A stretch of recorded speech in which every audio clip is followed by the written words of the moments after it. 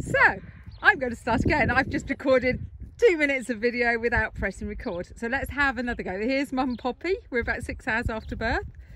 And here is little baby Xena, starting with an X because I'm on X's. Looking really fluffy and cuddly. She's, um, Mum's great. It was a straightforward birth. Where are you going, baby? How can I take a photo of you if you pop around the other side? So let's see if I can get baby's obviously on and feeding. Are you cute or are you cute? So this is what a six hour alpaca baby mum looks like. All together, very, very able. You can see another baby in the background doing zoomies. I think that might have been Wren, who's now a week old. I'm sure she's got a smile. Bye bye, baby. See you soon, Xena.